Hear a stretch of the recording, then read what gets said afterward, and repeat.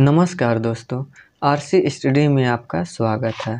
आज हम लोग अध्ययन करेंगे मृत उपजीवी किसे कहते हैं।